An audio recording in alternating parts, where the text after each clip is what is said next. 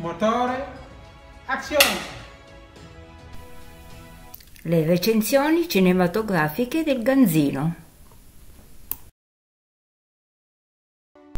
Che film c'è oggi al cinema?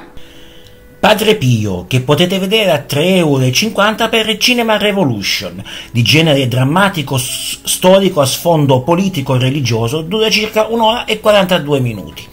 Proiezione in formato panoramico e la multisala Isola Verde di Pisa lo ha interamente proiettato senza interruzione.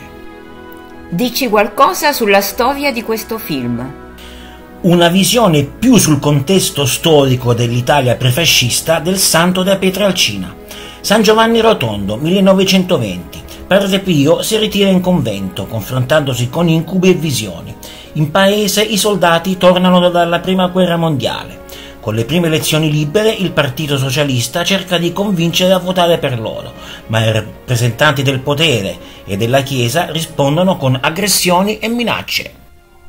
Cosa c'è di bello e meno bello?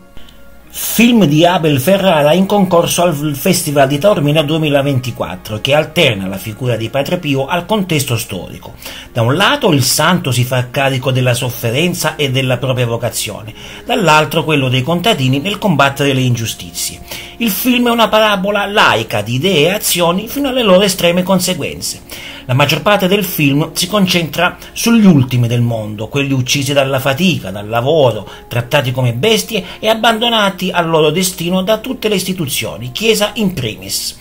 Dall'altro non mancano i miracoli, quei pochi che si vedono nel film, e la sofferenza di Padre Pio per la gente che si vede poco e con essa più rappresentando lo spirito della Chiesa. Bella e allegorica la scena delle stigmate, anche se il film resta appiccicato a quel mondo rurale e analfabeta.